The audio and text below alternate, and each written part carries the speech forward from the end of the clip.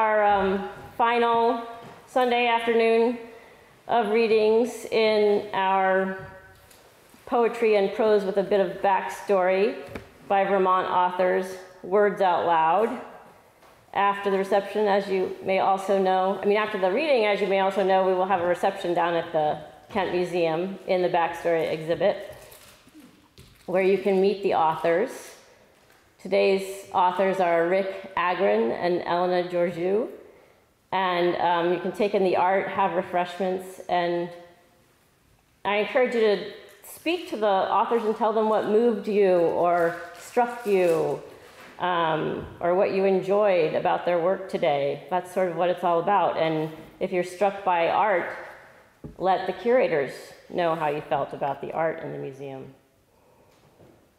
Um, next weekend we won't have a reading, but in this same space at 2 o'clock there will be a Calais Fall Foliage concert, which uh, is really a beautiful experience. All kinds of talent in the woods here. And um, that goes for about an hour, and at 3 o'clock after it, that's when the final closing celebration happens down at the Kent, which is a really festive occasion. So, our, our first reader today is Rick Agran. And since this is our closing pair of readings, and we're, you know, in connection with backstory, I felt compelled to give a little backstory to introduce our writer today, Rick Agran. Our story begins with chapter one. About a year and a half ago, uh, when I had just been part of a group reading at Down Home Restaurant in Montpelier, a man I had not met came up to me to tell me what he enjoyed and what he related to about my poems. This is the chapter in which we learn the main character, Rick Agran, loves poetry and loves to relate to poetry. Chapter two. Sometime later, I find myself at Vermont Studio Center in Johnson for Vermont Studio Week, and the same character, Rick, is there as well.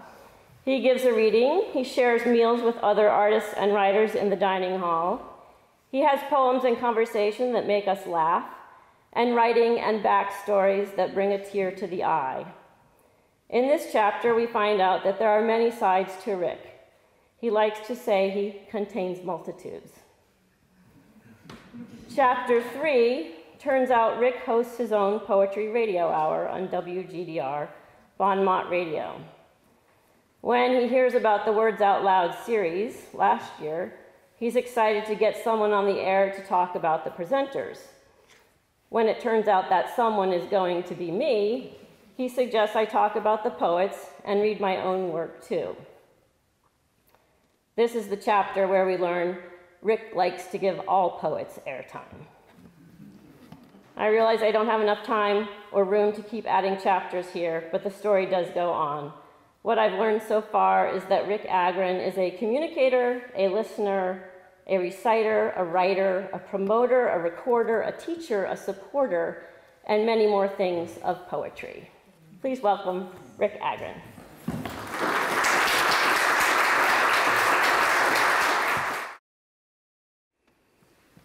I was going to say repent, but we'd have to pent first. So we'll skip that part. Um,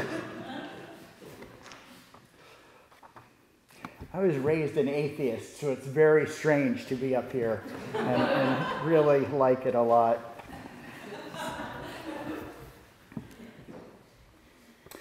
When I met a woman with one blue eye and one green eye, I knew her life like my own. I have different sized feet.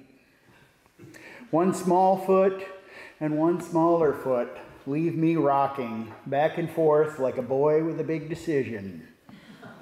The shoes that fit I wear forever, while the ones that don't I hobble around in. Never know which foot will do the sacrificing until it's doing it. Sometimes I can hide it the way I skip or glide, but if you know me, you can tell my dance from my limp.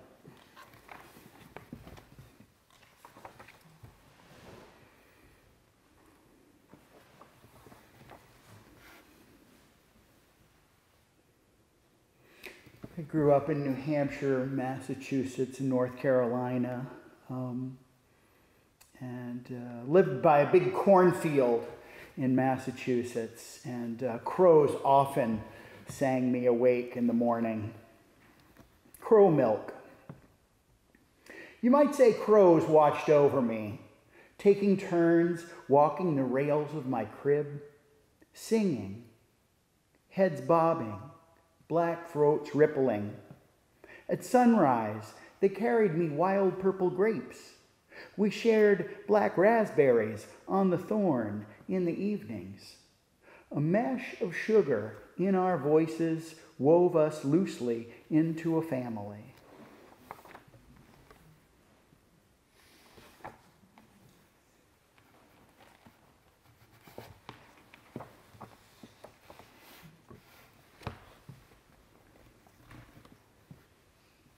Unseen Toreador. A black Angus bull charging every red leaf falling from a sugar maple.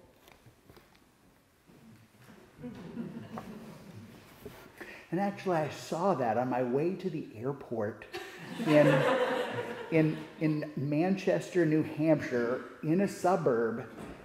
I looked over, and there was a bull running circles around a little maple tree. And I was like, I don't know how that bull got into that suburb, but I wish I could stop and find out.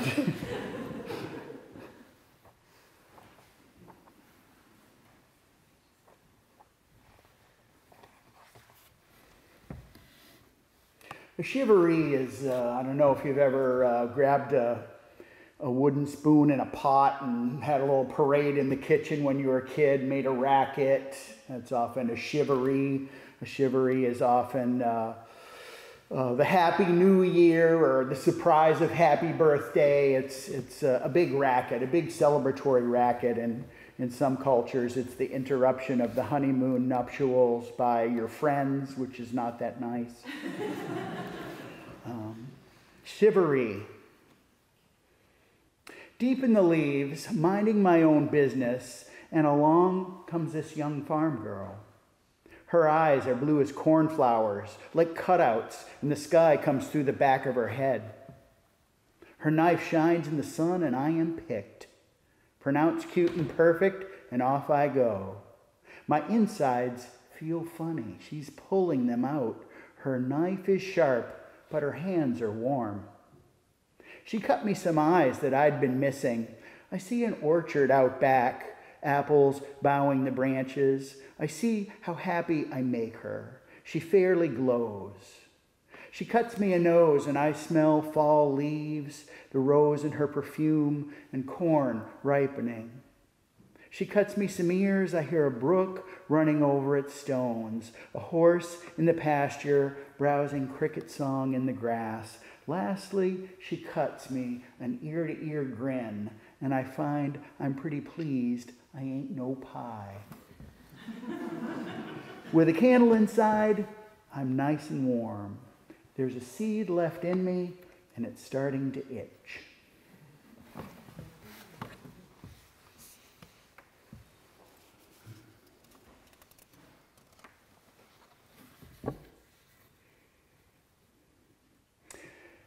This has a little, need a little musical explanation. John Cage is an experimental uh, musician, composer.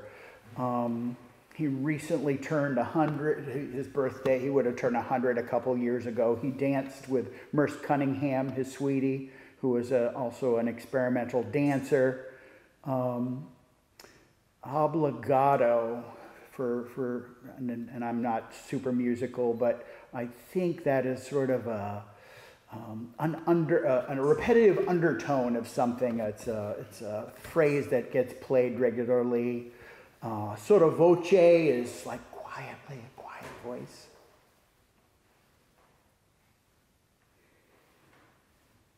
So Cage wrote a song um, that was silence. It's four minutes and 33 seconds long, and he copyrighted it. So this is called Celebration of Copyright at 100 on the occasion of John Cage's 100th birthday. John Cage composed 433, a transcription of silence, and he performed silence all over the world. As a composer, he listened and wrote nothing. A braille of obligato transcribed into what he'd heard tell of. Tonight, our pianist raises the baby grand's fallboard, runs her green eyes down 52 untouchable ivory keys, ponders 36 ebonies, and the unscored knuckles she won't crack. And we wait for something, anything, to ring with a maestra's deference. She closes the fallboard at 4:30, rises and bows, her only improvisation. A century earlier, in a grove of calamander trees, elephants' trunks swung in unison, curling and uncoiling silently after a lioness's cough, sotto voce. A nearby ebony's dark heartwood whispers, leaves and shadows waver, a fanning of ears, a bull elephant's upraised tusks like a conductor he wraps the shadow of his trunk around the ebony tree trunk, pulls his shadow inside out, pantomimes, and disappears. The sound of his vanishing lived in a piano until John Cage discovered it, a half a world away on the Lower East Side, playing a quiet opera of Dharma. Now you can download this silence for 99 cents and in true spirit, clap along one handedly. You can play the encore.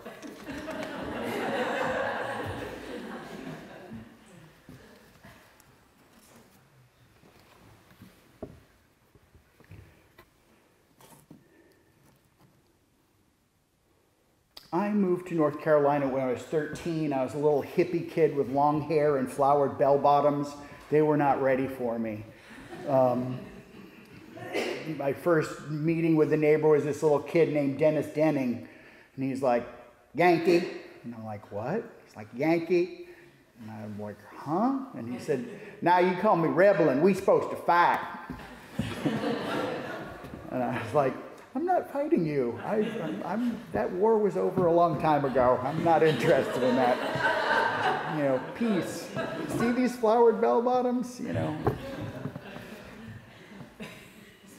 But this poem came up. I was thinking about, I learned some, I came from a family of a single mom where, where women stuck up for themselves and ran things. So I wasn't used to some of the southern protectiveness of young ladies and girls. It was very interesting for me culturally to see um, how big brothers took care of their little sisters. It was a really interesting lesson to me. Um, and uh, you could go and, and be stupid, and your big brother would keep an eye on you. Cruising the Carolina countryside night.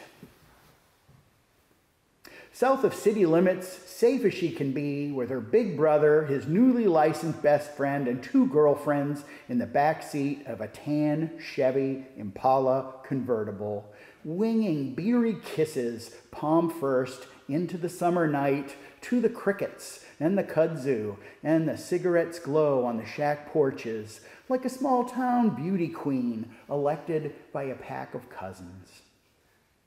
She tried to kiss the night alive, her white culottes riding up her 15 year old butt, the quart of Miller High Life growing warm and foamy between her knees as they cruise the tobacco flatlands until, beer weary and wind blown, she sinks between her two friends and they all succumb to the evening's contagious honeysuckle sedative, slumped against each other's tan and freckled shoulders hair wind tangled, and moonlight's lullaby, kissing them all good night as they ride.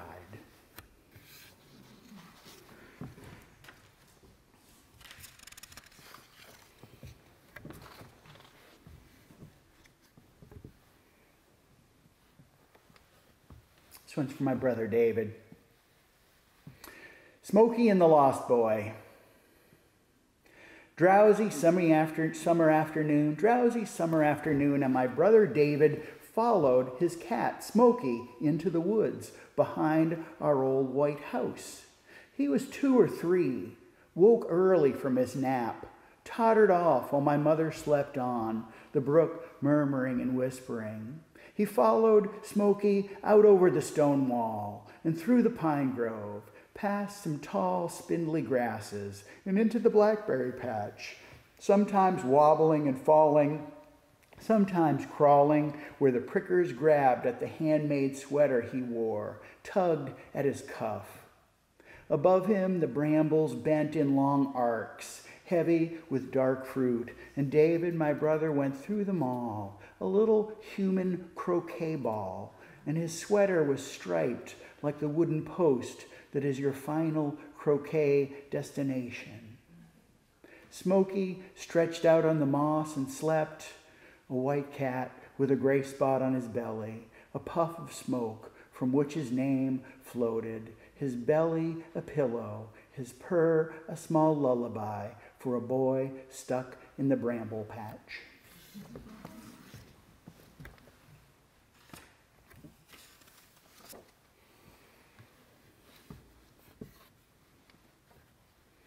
Little essay that I worked on. I, I went to the Vermont Center to try and write some poems, and poems were just not coming. I ended up writing beside the writing and writing some prose. And this is a little essay I wrote. It's called Miss, Ms. Buckley, Langston Hughes, and Muhammad Ali.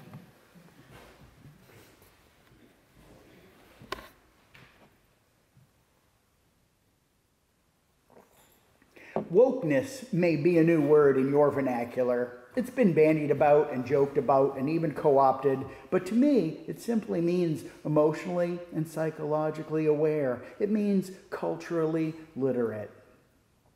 My first lessons in wokeness were in the culture wars of the 1960s and 1967, 68, and 69 were the years my young consciousness was raised. I learned a lot of stuff, largely as a testament to my mom, Ann D. Agran, who worked for the NAACP in Boston. Miss Buckley, Ms. Buckley, my fourth grade teacher, and two black men, Langston Hughes and Cassius Clay. Buckley came bounding into my life after Labor Day when I was nine in the fourth grade. She's a big, lean Irish lady, originally from Boston. She drove a brand new 1969 Chevy Malibu. She never wore makeup but wore red lipstick. She had silver hair, a big laugh, and blue eyes that twinkled when she was mad or making mischief, and you could pretty much tell the difference with a glance. The first day of school, she introduced us kids to what a Ms. actually was. Apparently, a Ms. had her own last name and wasn't married, and she liked folks not knowing if she were a Miss or a Mrs. She wasn't, it wasn't any of their business unless she wanted to make them any the wiser. Our first Ms. made her point pretty cleanly. So, boys, raise your hands if you want to give up your last name when you marry. We all looked around, and none of us really did. At 9 and 10, we weren't even really considering marriage. Only a few of us even liked girls, period. The girls watched the informal polling in amusement. But then Miss Buckley asked the girls to raise their hands on the question. They looked around too. They seemed like they might like to discuss it a little. They'd been thinking about it in a way that none of us boys had. It looked as if none of them were up for abandoning their last names either. Her, her, her point was taken. Nobody talked to us kids like that. It was the first day of school in fourth grade where you learn where the pencils and paper are, the workbooks. You figure out where they keep the paste and tape, where the sharpener is. A little Italian kid asked, Could we just call you Mrs. Buckley? It's just easier because that's what I'm used to. Maybe easier for you Ms. Buckley said seriously and paused. She looked all around, surveying us, all of us, 18 little kids in our first day sneakers and new clothes. But it's not accurate. Part of growing up is learning to be accurate with names. You call people what they want to be called, and I prefer Ms. Buckley. I told my mom about all this at dinner, and I'm pretty sure my mom became a Ms. that day too.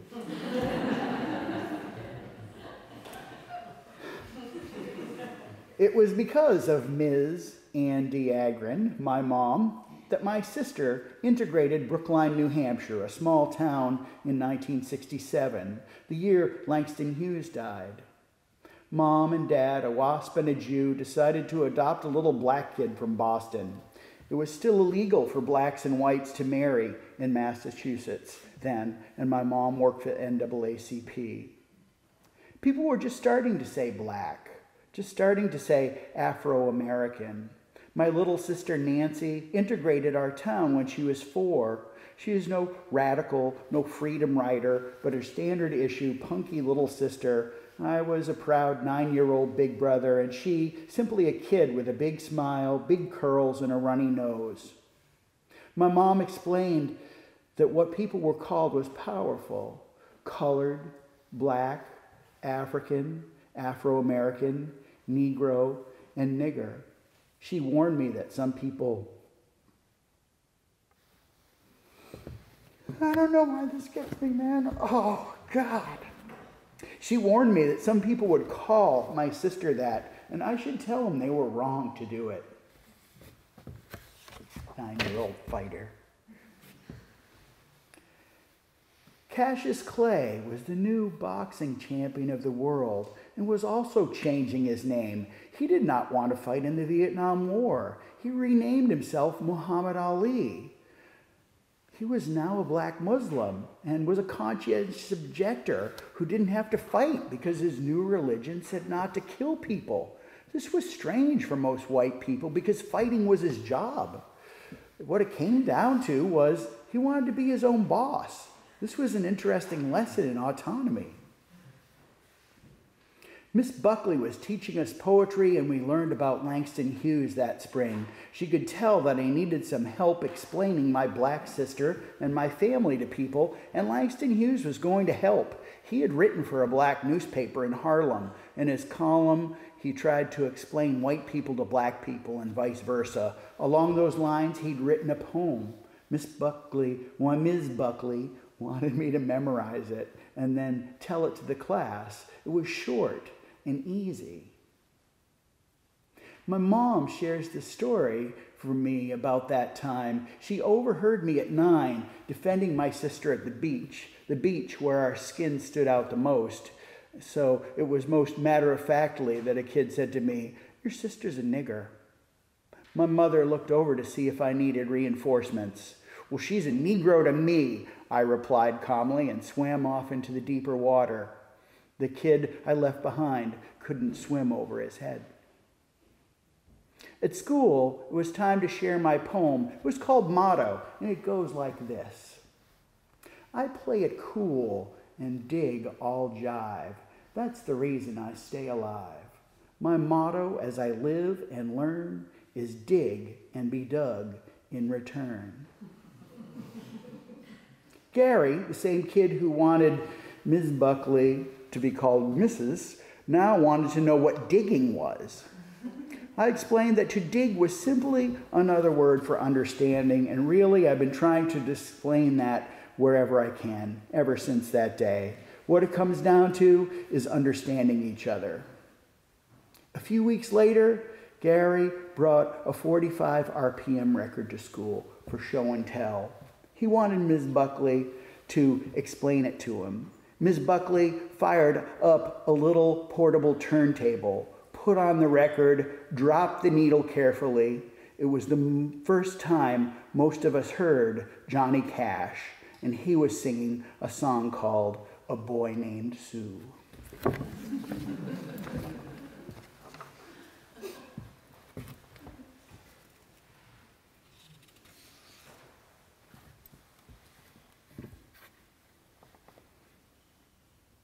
Unveiling.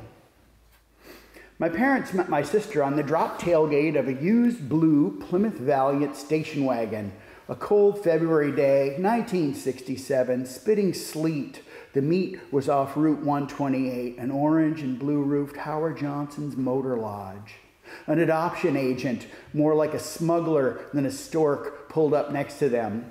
With a knowing nod to my mom, she rolled down the tailgate window with a vigorous crank, lowered the tailgate, revealing a wicker laundry basket. Sleet ticked off the car roof, bounced and scattered, speckled my parents and a green, red, blue, black plaid wool blanket. My father, imagining a little Korean girl he wanted, slid the basket out into the storm. Three adults hauled around to block the cold gusts of wind. My sister unwrapped like petit chou, like a late Christmas present, a little half Moses, afloat, a half Nubian queen, asleep, aslant, in creaky wicker, no flicker of wakefulness available, and then a squint and a wiggle.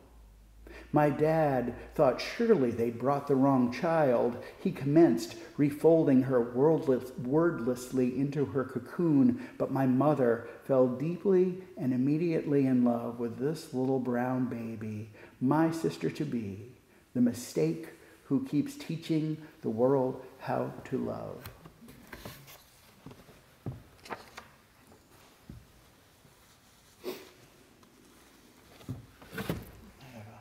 Confession to make. I have a birthmark.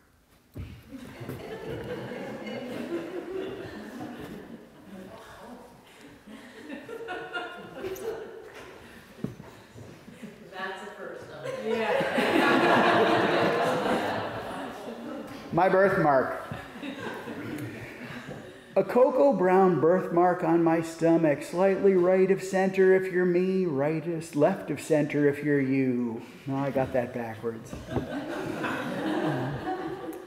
About the same size as a Brazil nut, my favorite nut for cracking. Nigger toes, this kid Brett called them. What? I never heard that. He assured me everyone calls them nigger toes.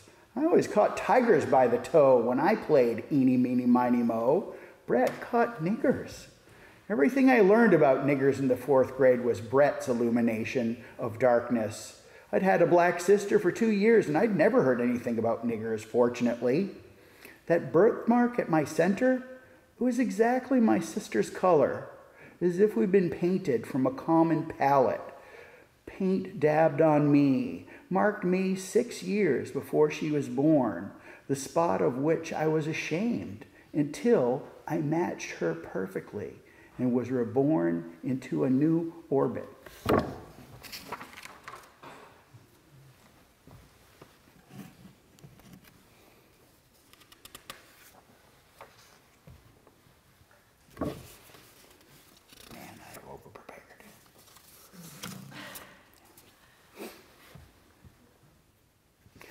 This came, this was a, around a, a birthday. Um, Talking with my students in class. They'd never heard the word um, octoroon. And there's this weird classification in racial, the racializing of, of, of, of, uh, of slavery and, and uh, captivity. One drop of, of black blood made you black, but one drop of white blood would not make you white. It's a very strange and unscientific rule that if you were um, an eighth black, you were called uh, an octoroon, uh, a quarter black, a quadroon. Um, and this, I don't know why uh, I got used to thinking about a, frac- a, a, a, a fractionalized person, I guess. Blackbird fractions, this is called. Blackbird fractions. I'm an eighth blackbird, a smudge swirl, a crow's eye, looking for sparkle shine, wreckage, an omniscient distance. I'm an eighth vetiver, combed and clustered, roof thatch and ear dab. I feed horses, strengthen bricks. I perfume necks and cisterns. I'm an eighth mermaid, a complex surface, warmth, cooled, a wanton impossible, an explosion, a salt opera with sea foam. I'm an eighth grapefruit, a citrus crystal ball, a pink cheeked future teller, an inner turned starlight, rose, corona, and quench. I'm an eighth ormolu, toxic and mercurial, fire sheeted, a glossed bronze goblet, a gilded dog fang, highlit, sheen, and shine. I'm an eighth bastard, slant starved, an abandoned basket of baby, a wanderer, a staggerer, a hand and cheek offerer, half home and half alone. I'm an eighth peony. I'm ant circled, closely furled, then full blown, a pink blossomed noseful, a lost fistful, wind blasted, and path dappling.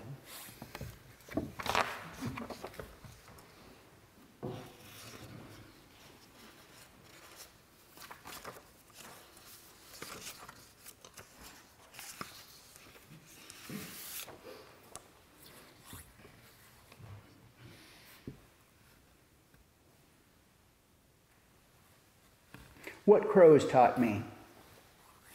How to use my voice, when to warn the others, how to read what the tilt of a head says, how to harvest the massacre and keep to the side of the road, how to wear a shadow cloak and dodge a stone, how to skip when I steal and eat dove among thorns, how to sleep with one eye peeled, how to flee the scene, when to lollop, when to dive, when to raise one wing and bow.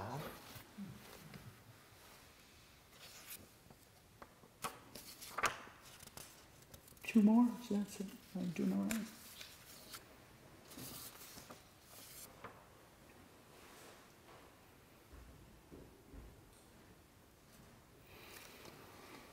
One long one, one short one. My mom is 93 and uh, she's headed out of this world probably sometime in the next few months. And I went to spend a month with her recently, and um, hard to tell uh, when she's um, ignoring people because they annoy her, or when she's just like legitimately uh, checked out. And uh, her timelines, as, as a demented person, her timeline and her lexicon are disconnected. So she's really very ethereal and is back and forth between time periods. She's yelling at my brother because her mom had come to visit her and given her a hug. And, you know, my, my grandma's been de- dead since the 60s, but he's, she's like, You told me you told me my mom was dead and she came here and gave me a hug. And my brother's like, okay, okay. I'm glad, mom.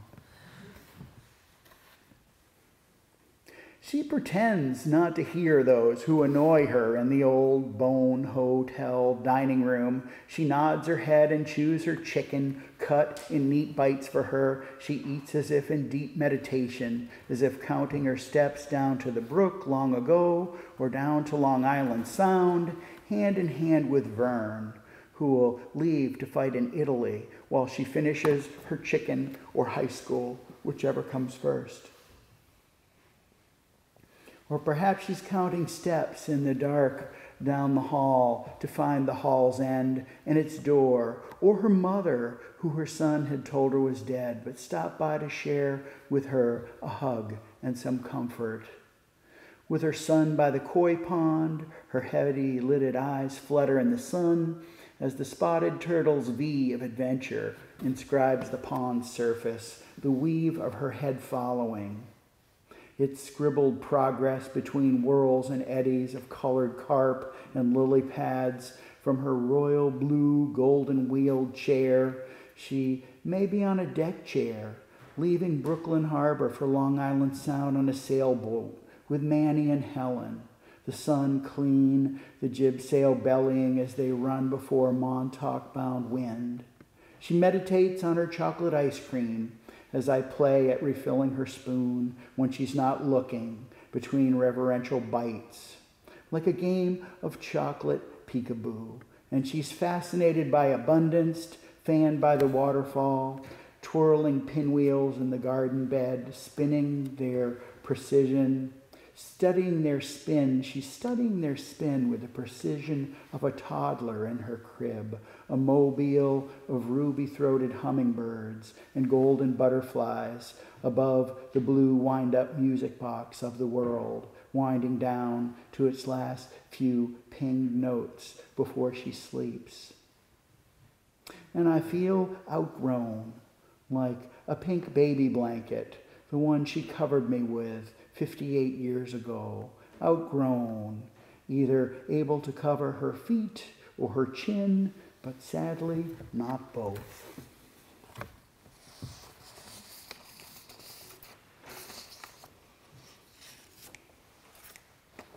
Thanks so much, Mary and Allison and David and all the Funnell and all the folks who made Backstory Backstory. It's been a really great uh, time this past month with you guys.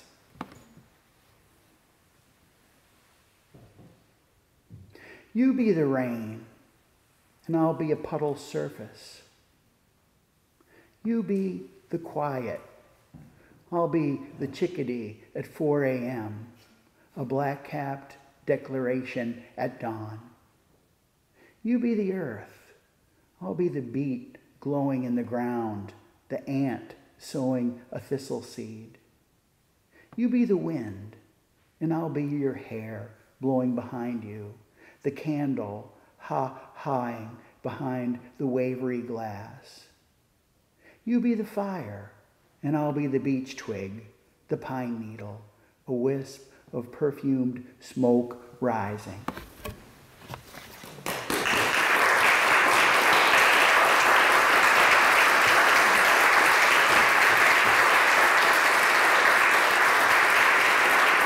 Thank you.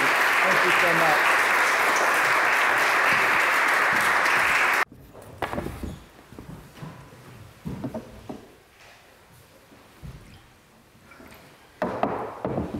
Thank you, Rick.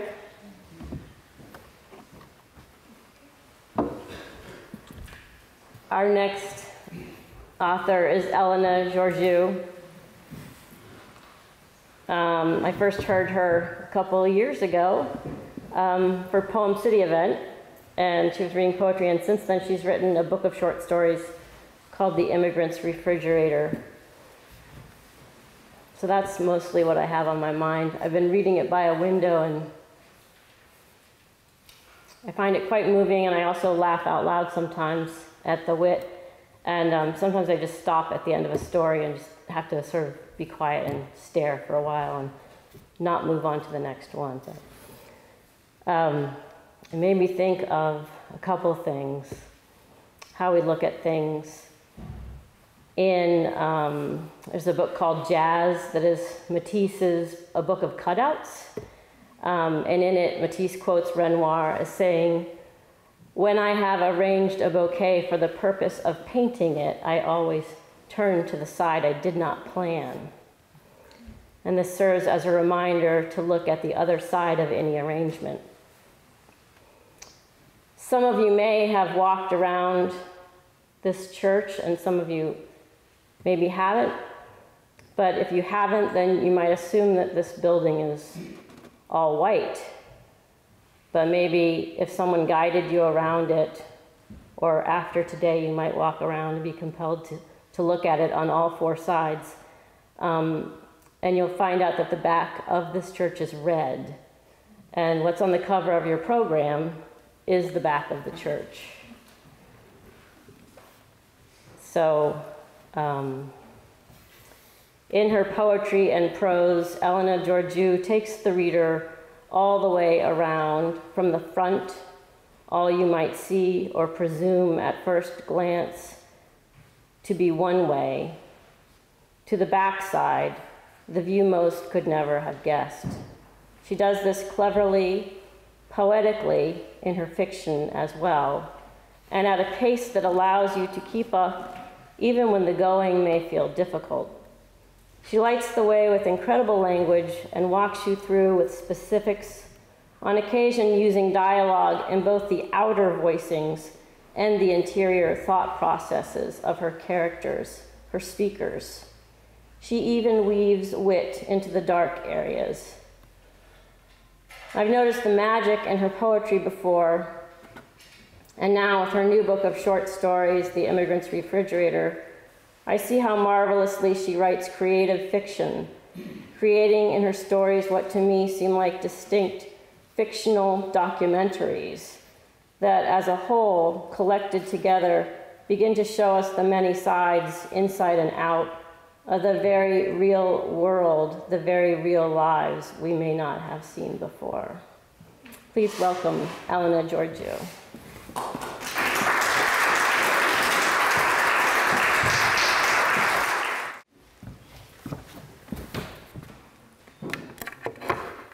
Um, thank you to Mary for inviting me, and uh, Alison and Dave. Uh, can you hear me okay at the back of the room? So this is an okay thing. Okay. All right. So you know, I did prepare uh, a selection of things, um, and then I came to the church and thought, oh, well, I've got a story that has a scene in it in a church in Vermont from the days, and I and I've never read it, and I'm in a church in Vermont on the days, and I probably never be in this position again. so, so, I'm going to read it. So, so here's the thing. Um, even though it says short stories, most of them are quite long. So I can't. I, I will. I'm, this is what I plan to do. I plan to write. Uh, I plan to read from three pieces from this book.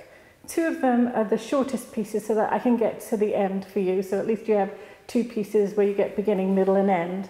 But then the bit, the church bit that's set in Vermont, um, is actually something like 30 pages long. So I'm just get, what I'll do is I'll just read the beginning and then I'll flip to the to the sermon and then if you want to read the rest of the story you have to buy the book. so, um, and then and then because it's poetry, uh, it's supposed to be a poetry event, I could read a, two or three poems or something like that. Um, so uh, it's I'm, not. It's it's a, anything. It's anything I want to do. Okay. I'm just very also aware, Mary, uh, that it's five to four, and I believe we're supposed to be finishing in five minutes, right? Well, uh, we started late, so. Just, so 15 minutes or something. 20, 25 minutes. Oh, is it okay? Well, I I don't want to push it because you know if you need to stand up and like because your bum hurts a little bit on this. so if you need to wiggle around, feel free. Okay, all right. Okay. Okay, so this is this is the this is the short story that's set in in Vermont, and uh, it's called Pork is Love, and uh, I'm just going to read the opening, and then I'll jump to the church bit. Okay, so I'm going to forgetting. no. It began as a challenge. I walked up to her at the end of the service, and I said, "Poetry, poetry, blah blah. If you want to convince me of love." then you'll stop reciting poems from the pulpit and you'll find a way to preach a sermon about pork fat. I was already standing in the doorway shaking her hand. If you could find a way to preach pork fat is love, then I'll come back to church to hear what else you've got to say. Her body expanded. She looked taller, wider, stronger. Oh Lord, I thought, she's going to try to meet it. She's going to do her damnedest to find a way to preach about pork fat and love. You know why? Because she thinks she's got God on her side. While she went home to study her Bible or feed the hungry or do whatever else pastors do on Sunday afternoons, I thought, well, I have my own sacred ritual waiting for me at home. Pork is God to me, a useful God, one that can add flavor to practically everything and make it taste better even ice cream. I bought myself a cone with a scoop of maple bacon ice cream in Cape Cod last year, on the last vacation me and Cassie took together. Bits of bacon in my ice cream made me happy. If the world were cooked in pork fat, I think it would be a happier place. but the Muslims don't eat it, and there are a whole lot of them. And the Jews don't eat it, and there are plenty of them. And the Hindus are all vegetarians, and there are masses of them. And the atheists and the agnostics are multiplying these days, and they both have more than their fair share of vegetarians, so pork goes out the window there. And then there are the environmentalists who want to save the planet with meatless Mondays. So, right there, I can add a whole bunch of people to my personal list of the godless. Thank God for meat eating Christians. Thank both gods, the one in heaven and the one at the trough. So, anyway, so the man and, and the pastor have this. Uh, so, his wife has left him and he becomes reclusive and he hasn't got anybody to talk to. And he goes to the pastor and he tries to talk to her um, and she tries to listen. Um, and then at some point she says, "All right, I'll do it. I'm, I'm, I'm gonna, I'm gonna try and do this, this pork fat is love thing." You know, so because I've never done it before, I'm like, "Oh, here we go." Um, here we go. When the pastor stood in the pulpit, the church fell silent. Good morning. I hope you're all feeling well and ready to embrace this new day. Prepare yourselves for something a little different this morning. As she walked towards the dais, there was a tiny bit of fidgeting from the congregation. In the center of the raised area, she'd already placed a hostess cart and she positioned herself behind it. From the second shelf of the cart, she pulled out a small camping stove and a frying pan. She placed the burner on top of the cart and set the pan on top of that. She lit the burner, and suddenly all eyes were on the flame. This morning, I want you to think of God's love as this blue flame, and this frying pan as the world we inhabit. The congregation sat transfixed, waiting for her next move. She pulled out a piece of meat, a slab of pork. I snickered. The town clerk looked round to register who'd made the sound. I wanted to stick my tongue out at her like some overgrown kid, but instead I gave her the evil eye and she whipped her head around to the front. Imagine yourself as this piece of pork, said the pastor. Some people laughed, some people froze. I thought I was going to burst. She held up the raw meat like a magician and made sure everybody got a good view of it before she tossed it into the pan. The pork sizzled. In this moment, sizzling meat in this church sounded like the loudest sound in the world. She moved the pork around the pan with a fork and spoke above the sound. When you are born, you are tossed into a life, a life that is sustained by the blue flame of God. If you do not watch over this flame, it will be extinguished. If you turn it up high, the meat will burn. If you turn it down low, it will take too long to cook, and you run the risk of being left with something that is tasteless and dry. But if you tend to your life, keep turning yourself over and adjusting the temperature, the flame of God will transform you as this piece of meat is now transformed. The flame of God helps you to become something more than you once were, like this. She held up the cooked slab of pork in mid-air, its juices dripping. She had captivated the congregation with her sermon and the smell of pork. I had heard a growling stomach in the pew in front of me. I wanted to stand up and testify, hallelujah for pork, but I didn't want to draw attention to myself. She put the pork onto a plate and began to slice it. As I cut up this meat, this plate fills with juice, full of goodness, something to save. How many of us save these juices in a jar by our stove to add to future recipes? After these juices cool and transform into something solid, fat, we go back to them, scoop them out, scoop out a helping to add to our future dishes, to give them more flavor. Yes? I looked around. People were nodding in agreement. I wasn't alone. A short while ago, I read a poem to you about how easy it is to lose something we love, from something as small as a mother's watch to something as large as a continent. Today's sermon is about how we can keep something we value safe something small like pork fat in a jar, or something large like love in our hearts. We all know how easy it can be to lose some, something we hold dear, yes? So for this week, let us practice keeping something we love safe. When you look at that jar, a solid store of something you can dip into, something that a simple flame can melt, let pork fat remind you of love. She'd done it. She'd preached the sermon. No poetry, just pork. So uh, that's not the end. it goes on a little bit more, and uh, and uh, um, there's a happy ending, which is unusual in this book. I will just let you know that. um, so I, uh, but okay. So um, the immigrant's refrigerator. Um, every story in it has an immigrant. Every story. Uh, mm, not all the stories, not all the stories have Americans in it, but most of the stories have Americans in it. And all the stories have one aspect, uh, sometimes to a larger degree, as in pork, or you can barely notice it, as in some of the other stories will have something to do with one, one, one item of food in it. So, uh, so I said I was going to read two short ones so that I could get through the whole thing. So um, I'm going to read the first one. It's called Gazpacho.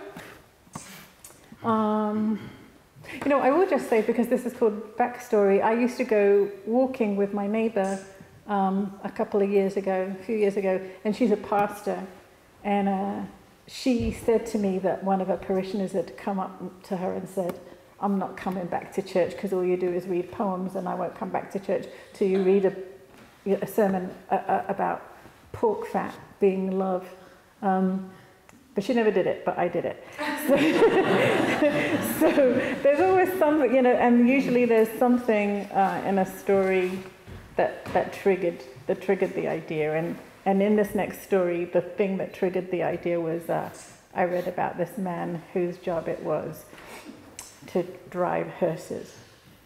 Uh, I'll, I'll tell you more about it when I get to the end. It's called Gazpacho. Most days of the week, I stand outside the train station with two large plastic buckets of gazpacho. Nothing fancy, mostly mashed up watermelon, onion, cilantro, lime, more to quench their thirsts than to fill their stomachs. The boys come out from their corners. They are quiet.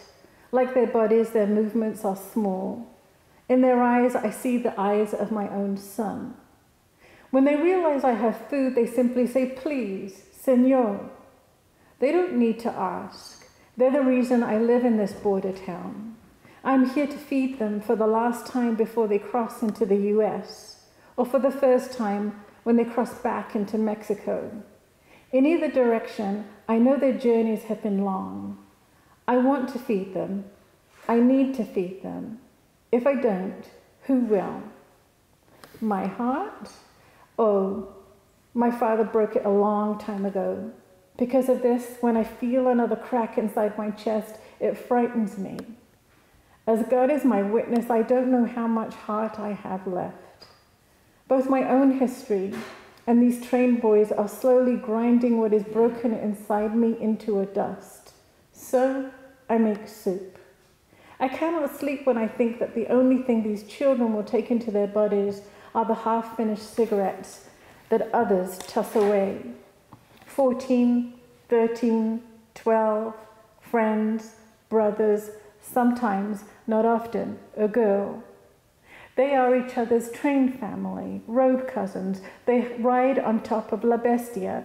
It is illegal, yes, but there is not much the authorities can do. How can they stop these traveling children when there are hundreds of them riding on Tren de la Muerte each week?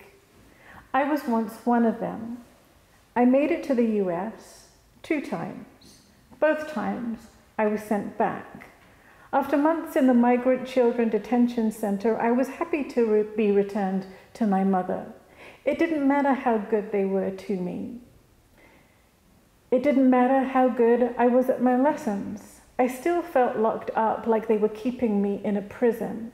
The first time I thought I did it, I made it, but that America was not like the one on television. TV America is everywhere in New York. After the first time, I thought I would never ride La Bestia again, but I had to, for my mother, to build her a house with her own bedroom, so she could stop selling food on the street. I wanted to put money in her hands and say, This is yours. No more cutting your own hair. I thought that finding my father in America would be the answer to everything. My plan was simple. I would tell him exactly where and how my mother and I had been living, and he would help. Side by side, my father and I would work. Side by side, we would sign our names at the end of our letters home. Father and son, we would send her our love and our money. At the end of my second journey on La Bestia, I found my father a miracle. He said, It takes more than one night with your mother to make you my son. He turned his back to me, he closed his doors, and all the walls of my life, already built on crumbling foundations, would have fallen on top of me if I hadn't stepped sideways out of this old house and into the new. My mother died a year ago, five years after my last border crossing, but I'm still building a house for her in my head. I have counted the windows, 17 also, all the rooms will be on the ground, no stairs, because I want this house to wrap around everyone who enters. The first time I went on the beast, I was lucky. I was part of a group, four boys and me. They protected me. We each took it in turns to stay awake and watch out for the others. All of us had been witnesses to the solo riders. We'd seen how many of them rolled close to the edge of the train while they were dreaming. When someone rolled off, the train stopped for a moment. My oldest road cousin saw someone roll under the train. He didn't tell us what he saw. He saw the dreaming, but the dreaming boy's body was cut, how his legs landed a few feet away from his hands, until the biggest part of our train journey was over and we were close to the US border, the border in all of our dreams. We all thought that when we got to America, we would be adopted by new families, born again into the life we were meant for. Of course, we thought we were meant for it. We were just the same as the New York boys on TV, except their houses had kitchens as big as churches and refrigerators with so much food, sometimes things were piled on top of each other with a special place for eggs and cheese and, and meat. But now here I am, a 20 year old father, a 20 year old father who feeds these road cousins, Gus gazpacho, when the train stops to catch its breath in the station. The rest of the day, I drive a hearse. This is my job for money. When I'm driving, hardly a day passes when I do not have to repatriate a child's body. This is what the authorities tell me to call it when they give me a dead train child to take back to his mother. There are so many days I've had to repatriate a child's body, it would be easy to lose count. I have not lost count. I have repatriated 257 children's bodies. Each time I load a small coffin into my hearse, a small country turns to dust inside me. I have a wife now, she came into my life with a child, my stepson. I love him like he is my own. I make sure to hold my boy every day. I don't want him to take El Tren de la Muerte. I, I can't imagine, my wife says, as she stands, I'm sorry, as she stands in the river washing our clothes.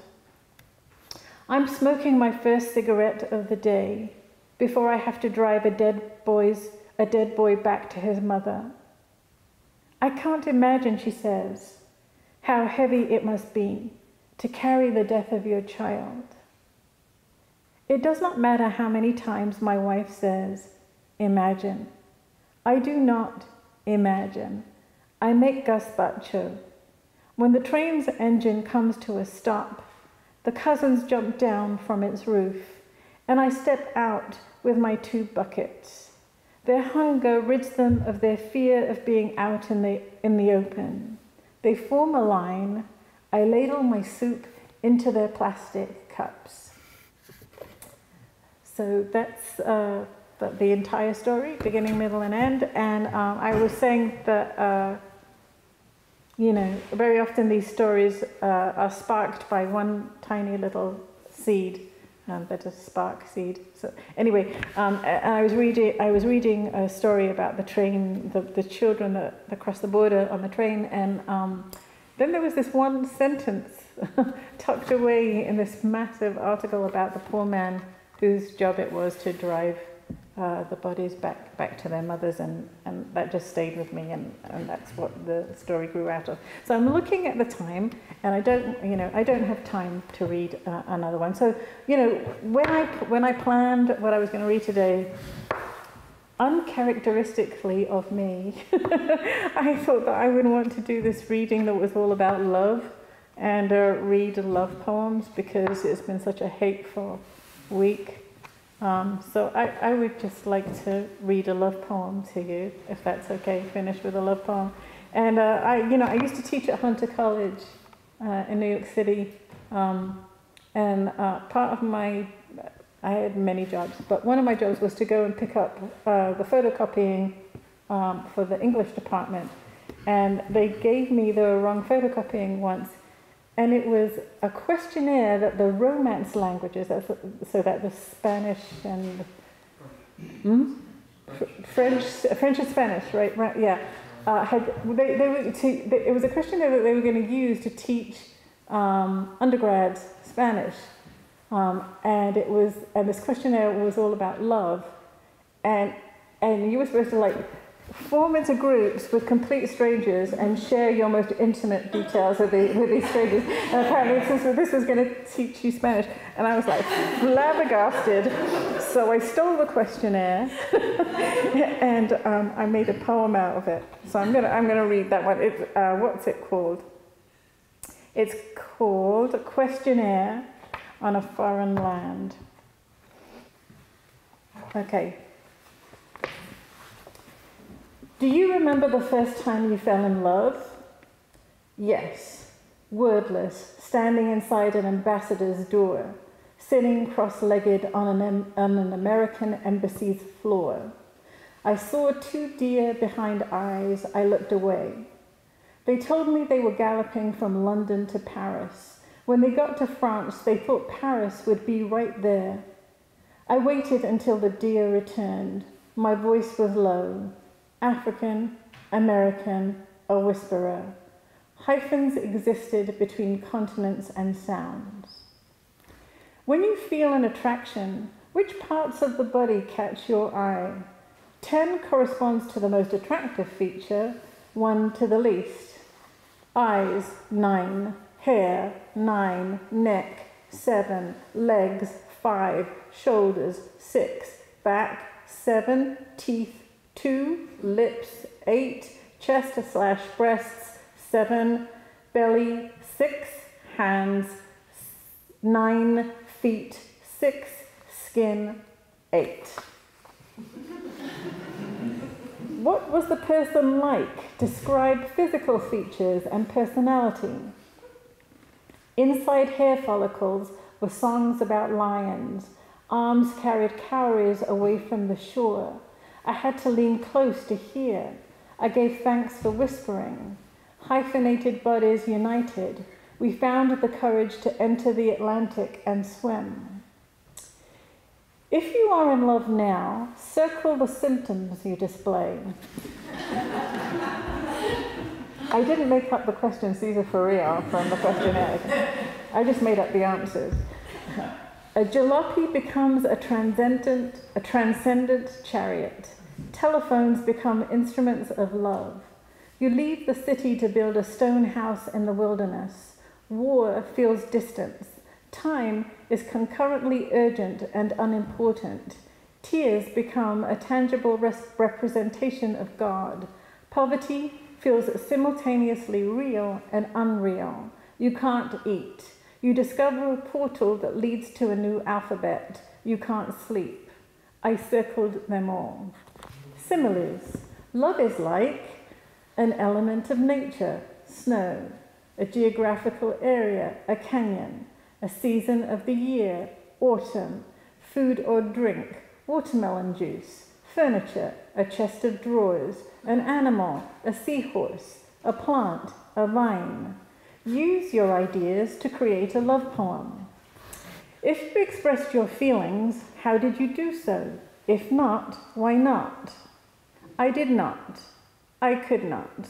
Ghanaian gold adorned one finger. Some enchanted evening was experience, not song. But my telephone kept making me dial the number. When the phone rang, I counted the rings before I hung up. When love happens, cut watermelon into a ca- canyon of snow, melt red, collect it in drawers, in chests. Autumnal seahorses weave umbilical vines, a botanical net, we're caught. We traveled across borders, lines, angles, curves. We studied the geometry of our knees. So I'll end there. Thank you so much.